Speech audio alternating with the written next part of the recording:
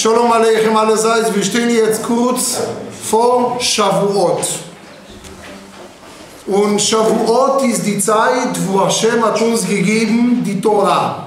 Die Torahgebung, die zehn Gebote, das ganze jüdische Volk nach dem Auszug von Ägypten haben gezählt 49 Tage und am Shabbat, es war am Shabbat, 6. Sivan, haben sie die Torah bekommen.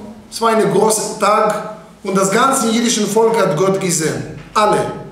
Männer, Frauen, Kinder, sogar die Mithelfer von der jüdischen Familie, die, die haben zu Hause mitgeholfen, Schifra, Mägde, Sklave, Putzfrau, Babysitter, alle haben Gott gesehen. Es war ein besonderer Tag. Praktisch heute, wie feiern wir Shavuot? Am Abend von Shavuot gehen wir in die Synagoge beten und anschließend gehen wir nach Hause, machen wir Kiddush und gleich essen und trinken. Später bei Nacht machen wir Tikkun Lel Shavuot. Aber zuerst machen wir Seuda mit Essen und Trinken. Auch Rabbi Eliezer Agadol, der normalerweise dachte, dass Feiertage sind nicht da, um unserem Bauch Freude zu schenken, sondern unserem Geist. Normalerweise hat gedacht, wozu gibt es Shabbat und Feiertage? Shabbat und Feiertage ist, um Gott besser nah zu dienen, nah zur Familie, nah zur Frau, nah zu Kindern. Also das ist die Idee von normalerweise Shabbat und Yom Tov. Insgesamt, wir haben im jüdischen Kalender 53 Shabbatot am Kalender plus 17 Feiertage. Das heißt, wenn jemand will wissen, unser Volk feiert 70 Tage am Jahr Yom Tov. 70 Tage am Jahr haben wir qualitative Zeit mit Gott, mit Familie, mit sich selbst. Alle 69 soll sein die Mehrheit, mehr Gott und wenig für uns. Aber Shavuot, auch Rabbi Eliezer sagt, dass wir sollen mehr für uns haben. Haben Sie mitbekommen? Wie viele Tage am Jahr haben wir Jontef?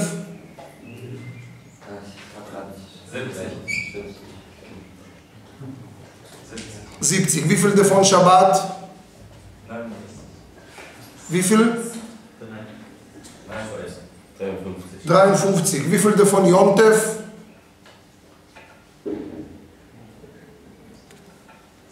Sehr gut. Was ist die Idee von den 70 Tagen? Was? Warum braucht man 70 Tage feiern, Shabbat und Yom Tov? Qualitative Kontakt mit Gott und mit, Sich selbst. mit sich selbst und mit, also mehr für die Seele. Welche Feiertag, alle sind einverstanden, soll sein mehr für den Körper und nicht nur für die Seele? Shavuot. Wer sagt das? Rabbi Eliezer Agadol. Auch Rabbi Eliezer Agadol, der sagt, dass Hashem hat uns gegeben Geschenke, Yomtev, um zu feiern für ihn, gerade Shavuot ist ein Yomtev, soll man essen. Und am Abend von Shavuot isst man und man isst auch eine milchige Speisen. Und Käsekuchen und, und gute Sachen, weil die Jiden haben bekommen die Gesetze von Kashrut und sie hatten nicht Zeit, ihre Töpfe, ihre Geschirr zu vorbereiten. Fleisch dauert sehr lang. Okay. Rashi, Rashi ist der Kommentar von Torah. Er sagt, wieso gerade am Shavuot brauchen wir mehr Essen und Trinken? Weil wenn ein Mensch isst und trinkt, zeigt er, dass er ist zufrieden und glücklich. Und weil das jüdische Volk will zeigen, dass wir sind froh und glücklich, dass Hashem, gelobt sei er, hat uns gegeben die Torah, wie machen wir das? Wie zeigen wir alle, ohne Ausnahme? Guck mal, wir sitzen hier verschiedene Gesichter. Jeder, der sitzt hier, hat nicht nur ein anderes Gesicht, der hat auch eine andere Sicht. Jeden einer von uns denkt anders, fühlt anders, tickt anders und hat eine eigene Brille für diese Welt. Unglaublich. Es ist unglaublich, wie Menschen sind unterschiedlich. Wie kann man alle Menschen einbinden? In dem Moment, wo man isst und trinkt und man macht Sachen, wo alle ohne Ausnahme sind menschlich und das macht nicht einen Unterschied. Okay. Deshalb sagt Rashi, Rashi sagt, warum soll man am Shavuot essen und trinken? Warum? Weil wir so mit der Familie sind. Warum sollen wir am Shavuot essen und trinken? Weil es ein Mitglied Warum sollen wir am Shavuot essen und trinken? Weil wir dann glücklich sind, also weil wir dann alle zusammen sind. Warum sollen wir am Shavuot essen und trinken?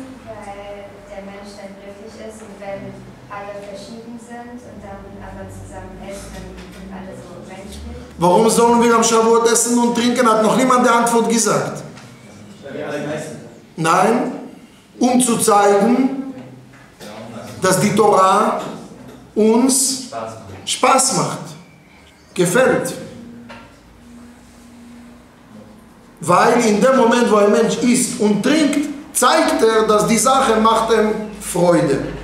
Okay? Ich wiederhole schnell, weil ich will so die Sachen bleiben und nicht so abstrakt zu schnell. Deshalb mache ich das langsam.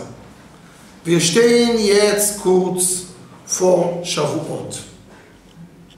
Es gibt im jüdischen Kalender Shabbatot und Yamim Tovim. Sag mir bitte, wie viel Shabbatot und wie viel Yamim Tovim? 53, Was? Shabbatot, Jafe. 17 Toda Rabba, volle, klare Antwort. Schkoyach. Zweite Frage. Was war der Grund, warum hat Hashem uns gegeben Shabbatot und Yamim Tovim? Damit wir näher mit Gott sind, näher mit der Familie und näher zu uns. Und es soll eine qualitative Zeit mit uns. Herr Femod, ich bin sehr froh für deine volle, klare Antwort. Schkoyach. Sag mir bitte, welche Yom ist Ausnahme von alle 69 Yontefs? Shavuot.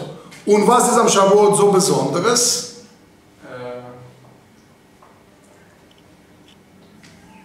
Ich helfe dir.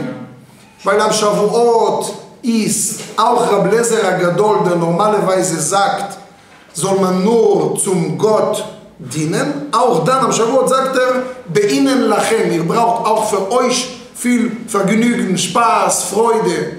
Was macht alle Menschen Freude, ohne Ausnahme? Essen. Essen und, und trinken. Torah macht nicht jeden Spaß. Ja, aber, aber Ah, du, du gehst schon auf dem nächsten Idee. Sehr gut, Shkoyach. Und was sagt Rashi? Warum essen wir und trinken wir am Shavuot? weil man bei Essen und Trinken alle zusammen versammelt und dann äh, alle miteinander Und was zeigt das, wenn alle zusammen und fröhlich sind? Glücklicher. Und sehr gut. Also wir zei- wir zeigen, dass die Torah uns gefällt. Wenn ein Mann und eine Frau heiraten, was macht man bei der Hochzeit? Danach, danach. Was macht man? Essen. und trinken. Was passiert, wenn fünf Minuten vor die Chuppah sagt der Mann und die Frau, sie heiraten nicht? Dann essen sie nicht. Dann essen sie nicht. Und warum essen sie nicht? Weil sie nicht glücklich sind. Weil, die nicht, gl- weil es macht keine Freude zu essen, weil es uns nicht bequem, etwas gefällt nicht. Wenn ein Mensch geht ihm nicht gut, zeigt er, dass er ist unglücklich, dass er ist unzufrieden. Wenn ein Mensch ist, ist nicht gut, hat er nicht Freude und Vergnügen beim Essen und Trinken. Und weil normalerweise Torah hätte eine Sache sein soll, dass uns Joch, Belastung, Schmerz, Schwierigkeiten gibt, sagt Rashi, gerade am Shavuot, wo wir haben so eine große Torah, mit 613 Gebote und Verbote, gerade da soll man essen und trinken. Sogar, es war ein großer Amora, der ist Rabbi Yosef. Rabbi Yosef hat gegessen am Shavuot Kalbfleisch, der dritte Geborene in seiner Familie. Also der dritte Kalb, der kommt vom Kuh, ist der beste äh, Kalb. Und steht geschrieben im Talmud, dass Rabbi Yosef am Shavuot hat gegessen ein Kalb, die gekommen von dritt, also dritten Geburt von der Kuh. Okay. Jetzt gehen wir weiter. Guck mal auf eure Blätter, das habe ich euch gezeigt. Hashem hat uns in die Wüste, die ganzen jüdischen Volk, alle zwölf Stämme, verteilt auf vier Seiten. Wir beginnen mit Ost. Seht ihr, unten steht Mizrach. Habt ihr? Unten? Unten. Steht Mizrach Ost. Das ist die Flagge von Jehuda rechts, die Löwe. Issachar sehen wir Sonne und Mond, weil er war ein Astrolog und ein Astronom und ein Torah-Gelehrter. Und Zvulun war mit Schiffen, der hat gemacht sehr viele Geschäfte überall in die ganze Welt. Und Issachar und Zvulun waren äh, Partners. Was machen Partners? Eine bleibt im Geschäft und eine macht draußen. Ich gebe ein Beispiel. Manchmal Vater und Mutter. Vater ist Außenminister und Mutter ist Innenminister. Und die sind Partners. Jeder macht seine Aufgabe und man braucht beides. Genauso Issachar und Zvulun. Issachar hat gesessen und Torah gelernt. Und Zvulun hat gemacht in die ganze Welt Geschäfte. Wir haben in die andere Seite oben Marav. Was ist die andere Seite von Ost? Die Sonne geht jeden Morgen von welcher Seite? Ost. Und wo geht sie runter? In West. Das heißt, wir sind jetzt im Westen. Von hier, wenn man geht rein in die Synagoge, dort ist Ost. Und wenn man dreht Shabbat bei Boibe Shalom, in alle jüdischen Synagogen dreht man zurück und sieht man beim Schabbes Eingang, wie die Sonne geht runter.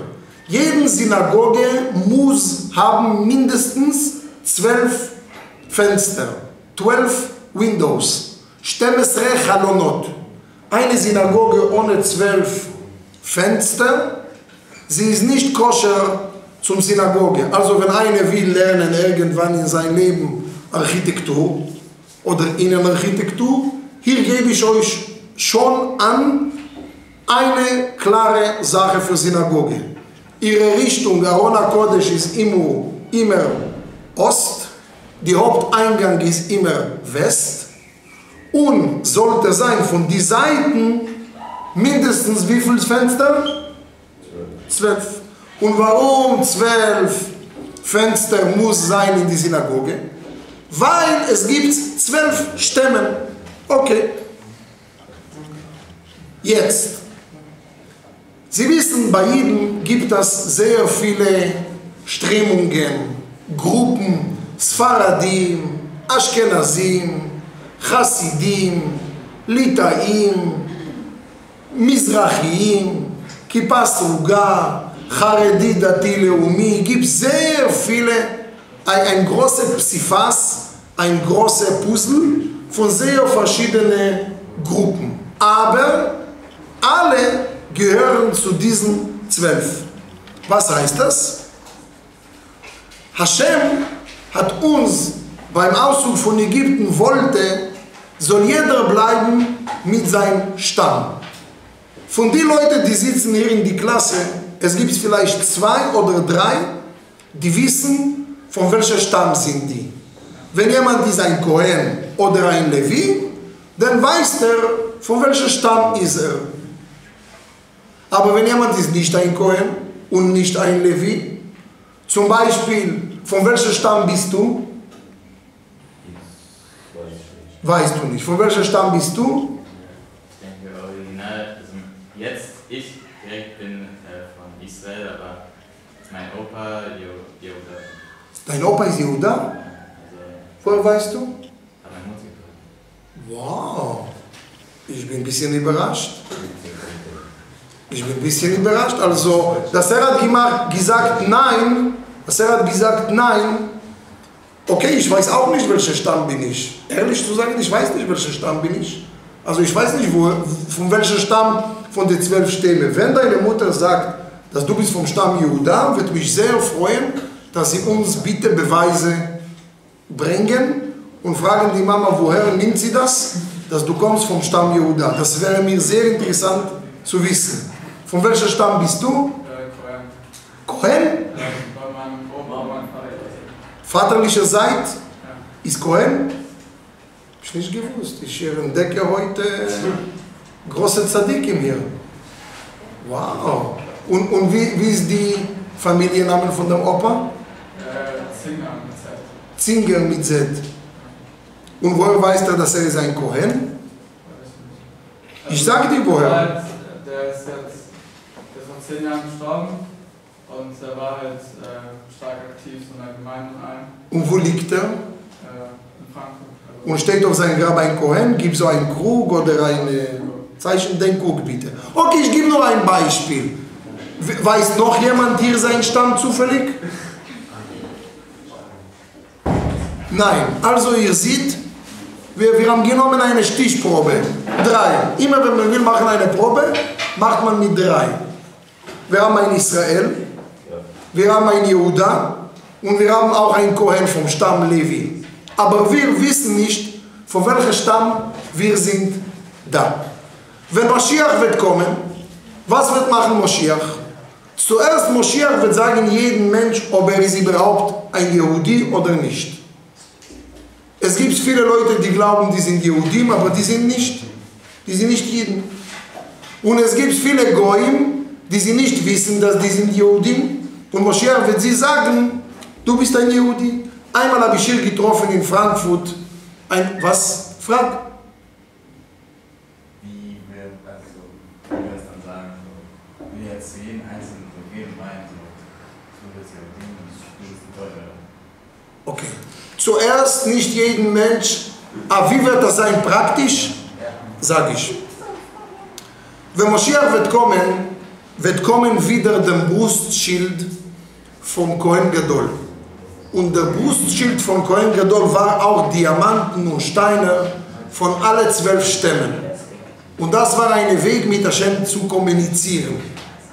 Und da, wenn jemand hat einen Zweifel, wenn einer hat keinen Zweifel, dass er ist Yehudi, er wird nicht gehen zu Mashiach zu fragen. Aber wenn einer zweifelt, er wird gehen zu Mashiach. Und Mashiach wird, wird charakterisieren die Menschen nach ihrer Eigenschaft, auch zu welchem Stamm gehören sie. Wenn einer hat zum Beispiel Neigung, er will sein ein Lehrer. Das ist eine Lebensmission. Von Kindheit, es gibt solche Menschen, sie wissen von Kindheit, was sie sein wollen. Wenn einer sagt von Kindheit, er will sein ein Lehrer, Lehrer, Lehrer oder ein Schriftsteller, Schriftsteller, gehört er zum Stamm Shimon. Wenn einer sagt von Kindheit, ich will machen nur Geschäften in mein Leben, ich will nur reisen im Schiff, auf ein Kamel, fliegen, Business, only business all over the world. Und der Mensch will immer fliegen und reisen und machen Geschäften, gehört er zum Stamm Zvulun. Wenn jemand hat so einen tiefen Sitzfleisch und er, er kann lang lernen ohne Unterbrochen. Wenn einer kann lang lernen ohne Unterbrechen und er interessiert sich für Astrologie, der interessiert sich für Astronomie, mag sein, dass er gehört zum Stamm Issachar. Und so alle zwölf Stämmen haben ihre bestimmten Charakter. Okay, Ich habe eine Frage. bitte sehr. Wenn es jetzt Brüder sind oder Geschwister und der eine ist so und der andere so, kann ja nicht sein. Von Stamm kann nicht sein anders, denn gehören sie alle zum selben Stamm. Vielleicht etwas interessant. Gibt es heute Menschen, die suchen einen Job nach Bewertung und Ergebnis, nicht nach Lebensneigung. Und deshalb, äh, Moschiach wird nicht äh, suchen der Mensch nach seiner Aufgabe, das er tut. Viele Leute haben verschiedene Arbeit. Gib mir bitte einen Becher dort. Sei so lieb.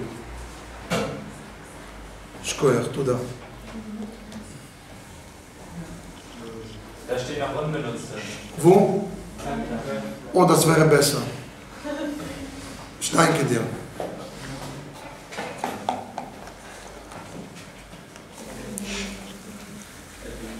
Wenn jemand möchte einen Schluck, s'il vous plaît, das ist Baruch atah Adonai Eloheinu melech haolam, shakol lev dvorei.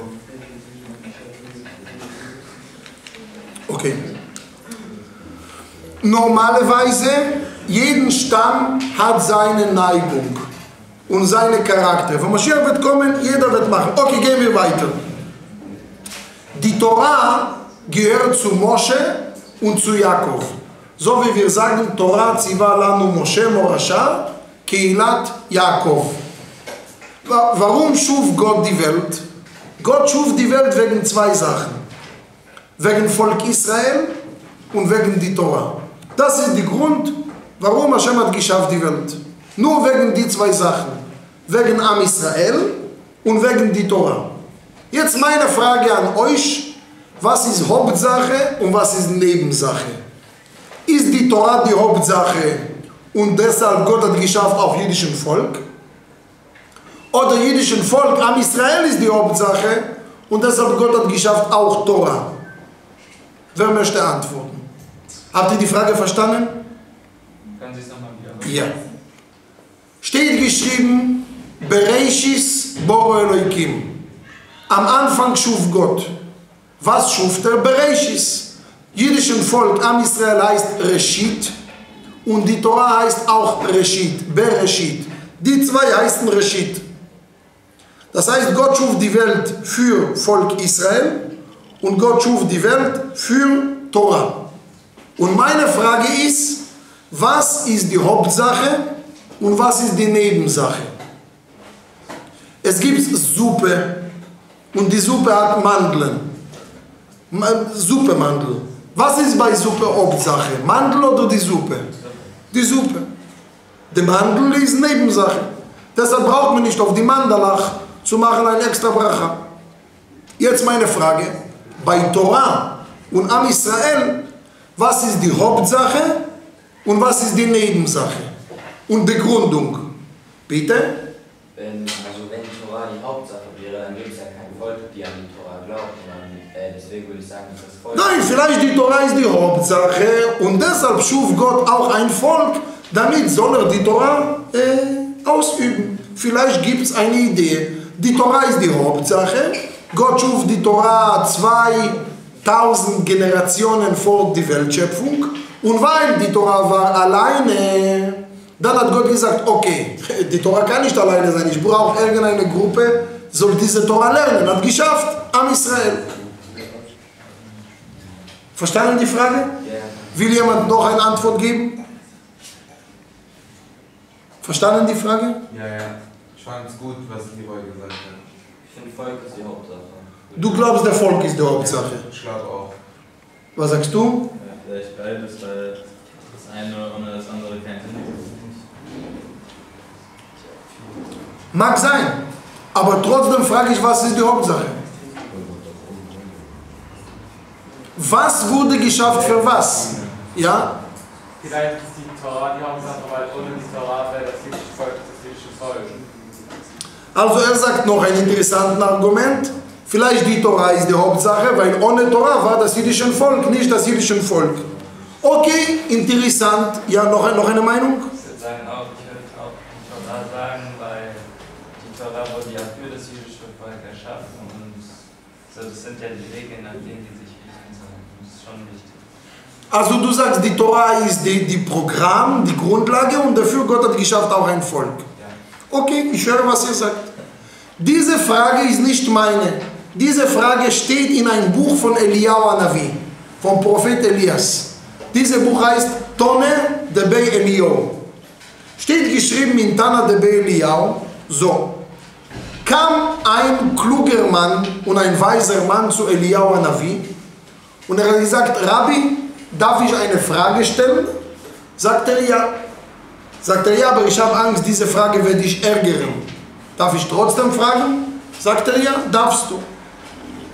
Sagt er, meine Frage ist, ah, sagt er mir Eliyahu Anavi, wenn, wenn, ich weiß, dass du fragst eine Frage von Torah, ich werde nie wütend sein. Wenn einer stellt eine Frage von Torah, gibt das keinen Grund, sich zu ärgern. Frag diesen Mann, ich liebe zwei Sachen sehr viel. Ich liebe das jüdische Volk sehr viel und ich liebe auch die Torah sehr viel. Und meine Frage ist, wer ist wichtiger von die beiden? Diese Frage stellt der Mensch Eliyahu Hanavi. Eliyahu Hanavi sagte, Menschen glauben in diese Welt dass die Torah ist wichtiger, weil Gott schuf die Torah 2000 Generationen vor die Weltschöpfung. Aber ich gebe dir eine andere Antwort. Volk Israel ist wichtiger als die Torah. Und ich gebe dir auch ein Beispiel. Eliyahu Hanavi sagt ihm, stell mal vor, Eliyahu Hanavi sagt der Mann, ich gebe dir auch ein Beispiel. Es gibt einen König, großer König, der hat Frau und Kinder und er geht zu einem Krieg zu einem anderen Land. Jahrelang ist er in ein anderes Land und dann schreibt er ein langes, langes Brief, Schriftrolle zu seinen Mischporen und für seine Kinder. Wie sollen sie sich benehmen in seinem Palast ohne ihn, dass der Papa ist in Krieg? Und dann schickt er diesen Brief zu seinen Kindern, zu seiner Familie. Was ist jetzt bei dem Papa im Krieg die Hauptsache? Den Brief zu schreiben oder seine Familie soll sie den Brief bekommen?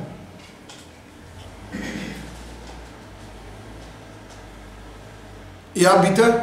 Die Familie, die den Brief bekommt. Die Familie, die den Brief bekommen. Das heißt, was sagt Eliyahu zu der Mann? Was ist wichtiger? Das Volk. Das Volk, warum?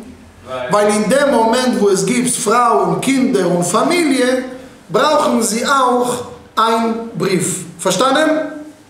Hast du verstanden? Okay, machen wir schnell Wiederholung, um die Sache zu sehen, dass alle das kapiert. Meine Frage ist, wir beginnen wieder mit dir, wenn du einverstanden bist. Wie viele Tage am Jahr? Alle sind einverstanden, das muss man mehr genießen als geistig steigen. Mit den 17? Mit die 70? Also Ich frage, wie viele Tage? Alle sind einverstanden. Das ist wichtig auch zu genießen. Welcher Feiertag? Shavuot. Ja, Femot. Sag mir bitte, warum gerade am Shavuot muss man genießen und essen und trinken? Weil wenn man isst, dann ist man glücklich. Dann zeigt man, dass man die Torah, die Torah mag, die Torah liebt. Sehr gut. Sag mir bitte, was wird Moschiach machen, gleich wenn er kommt? Was wird er tun? Waren Sie schon da? Noch nicht. Ja, hast du gehört? Was Moschiach wird machen, wenn er kommt? Die erste Sache. Was wird er machen? Hast du gehört? Ich habe nicht gehört, dass Sie es irgendwann gesagt haben. Okay, dann wiederhole ich es.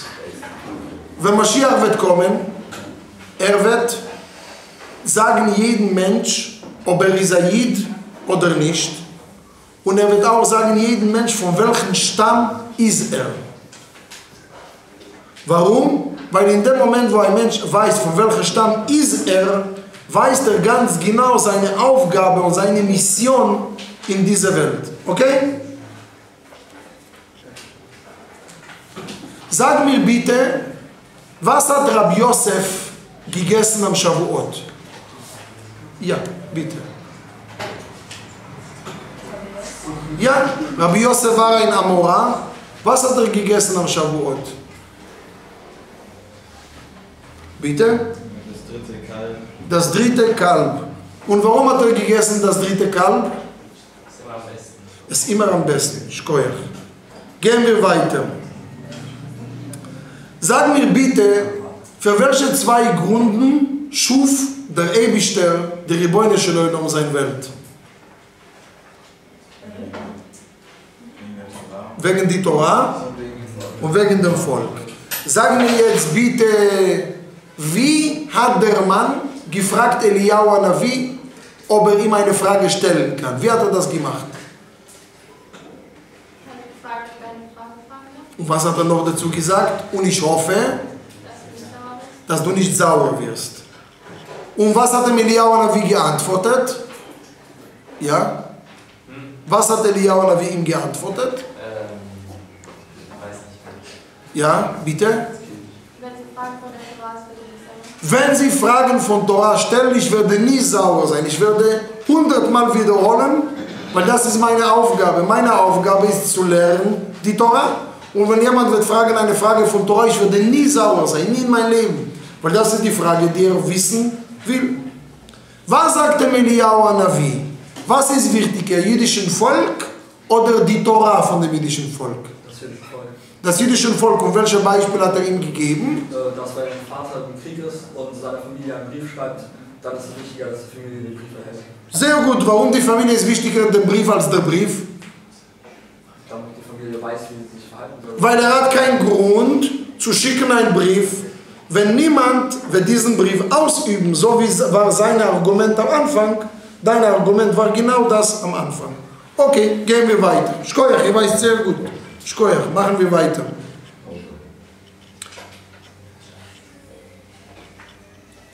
Jetzt, jeden eine von den zwölf Stämmen hatte auch eine Flagge. Was ist eine Flagge? Ist Flagge was Heiliges oder was Symbolisches oder was Wichtiges? Aber bitte überlegen auf die Frage.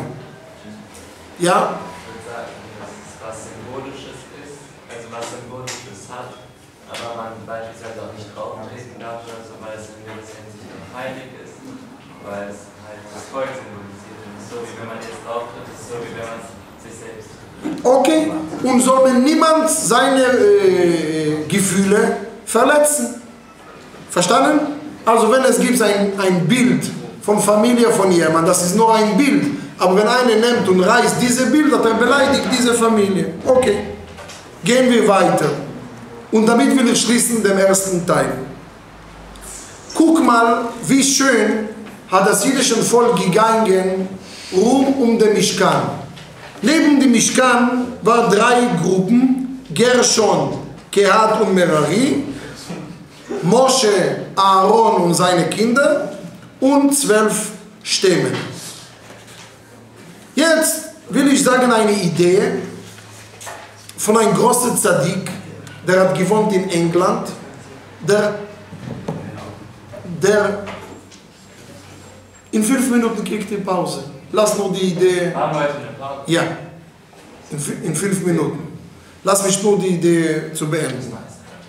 Rav Dessler sagt, ein großer Rav sagt, es gibt drei Kategorien vom Seder, von Ordnung. Es gibt eine Ordnung, wo diese Ordnung ist sehr schön im Augen. Wenn einer sieht Ordnung von vielen Soldaten oder von Garten, Garten und er sieht Sachen in Ordnung, was macht das in seinen Augen? Freude, stimmt? Also wenn einer sieht große Ordnung, habt ihr schon gesehen, so Soldaten von Schachmat stehen auf dem Tafel? Wenn sie stehen alle richtig, wie sieht das aus? Gut. Die Augen, die Augen von der Mensch liebt Ordnung in die Augen. Das ist die erste Idee von Ordnung, vom Seder. Zweite Sache, warum braucht man Ordnung? Wer will mir sagen? Warum ist Ordnung wichtig? Um Sachen zu finden. Um Sachen zu finden.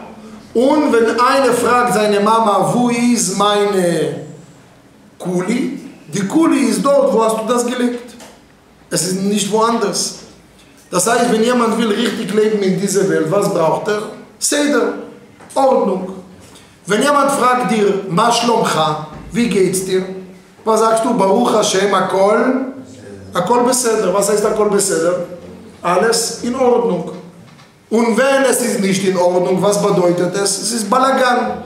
Balagan bedeutet Sachen, die bei mir nicht unter Kontrolle. Ich kann sie nicht einordnen. Oder vom Stress, oder von mental, oder von Freundschaft, weiß ich nicht. Gibt es Momente, wo die Sachen sind nicht in Ordnung.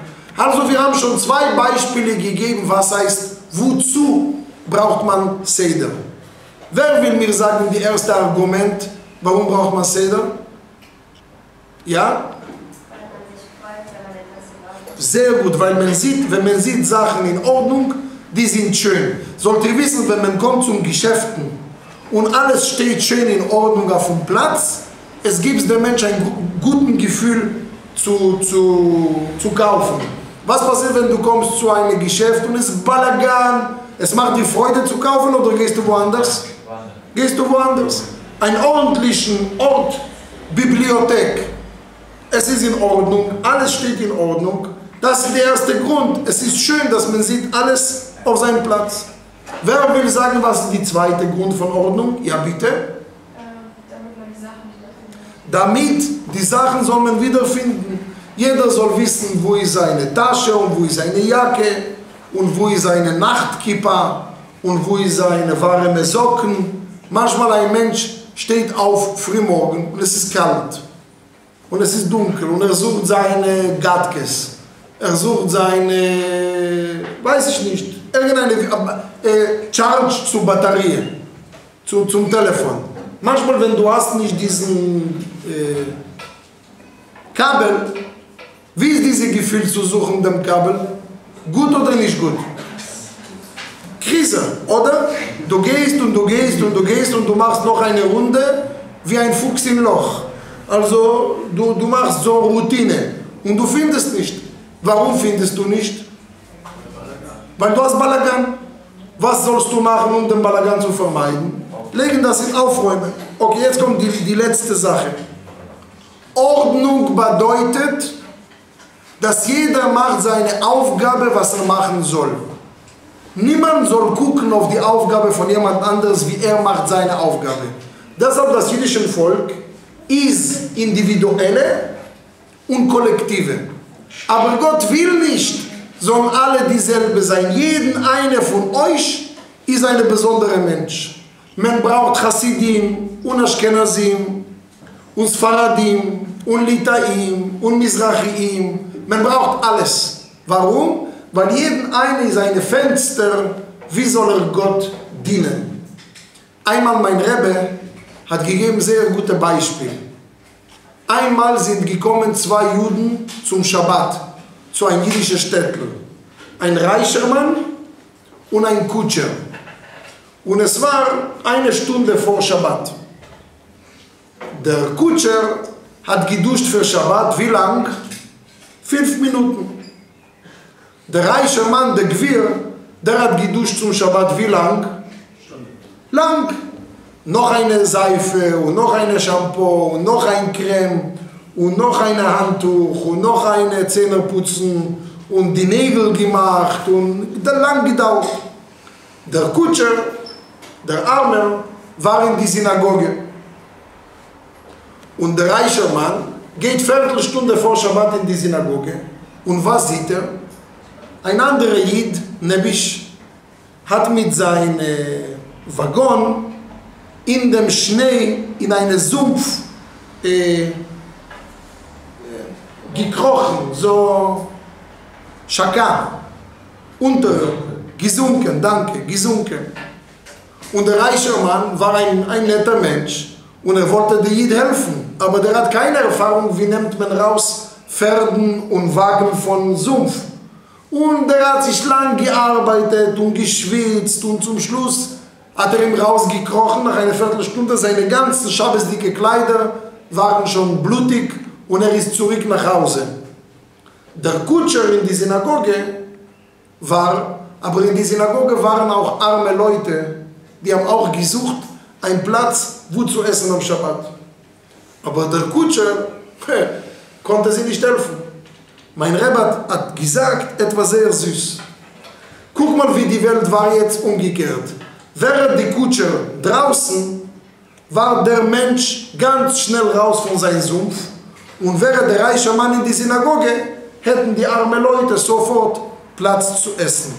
Ich schließe. Hat jemand gesehen eine Fabrik? Wie macht man Streichhölzer? Habt ihr nicht gesehen? Es war hier in Deutschland eine sehr, ich weiß nicht, ob ihr, weißt, es war hier eine Sendung, Sendung mit der Maus. Löwenzahn. Der Löwenzahn ist gestorben. Ja, also, wenn meine Kinder waren klein, die sind gegangen in Altenheim und da gibt es dort Fernsehen. Und eine von den Sendungen, die habe ich meine Kinder immer erlaubt zu gucken, war Sendung mit der Maus, mit diesem Mann Löwenzahn. Er ist ein sehr richtiger Deutscher, und äh, ein anständiger äh, äh, Berufs... Äh, wie? Moderator. Nicht nur Moderator, auch eine Profi vom Beruf, von Sachen, von Handwerker. Und er, hat, und er zeigt immer, wie macht man Fabriken, wie macht man Honig, wie macht man Streichhölzer, wie macht man dieses Schwarz, was man macht in Autobahn. Wie heißt das? Fair. Nein, nicht die Schwarze an sich. Fair. Der, danke. Und er zeigt immer, wie man macht. Einmal hat er gezeigt, wie macht man Weinflaschen. Und er hat gesagt, dass in eine große, große Maschine spart man viele Menschen. Stimmt. Aber wenn etwas in die Maschine ist kaputt, die ganze Fabrik steht. Die ganze Fabrik steht, das ist die Nachteil von Maschinen. Maschinen sparen viele Menschen, viel Personal. Aber wenn etwas ist kaputt und es gibt kein Computer oder keine Maschine oder kein Strom, wenn es gibt heute keinen Strom, tschüss, alle gehen nach Hause. Kann man nichts mehr was machen. Genau so ist das jüdische Volk. Das jüdische Volk ist wie eine Fabrik. Alle sind zusammen. Jeder bringt seine besondere Leistung und Idee. Und nach zehn Minuten Pause reden wir über Tikkun Lel Shavuot, aber bitte kommen Sie pünktlich.